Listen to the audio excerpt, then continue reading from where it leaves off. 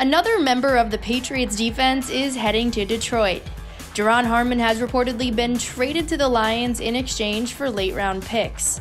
Nicknamed the closer, the safety was known for coming up big with fourth quarter interceptions while in New England. And Harmon will be familiar with his new head coach, reuniting with former Pats defensive coordinator Matt Patricia. He's the most recent of his teammates from last season to head to Detroit, joining Jamie Collins and Danny Shelton.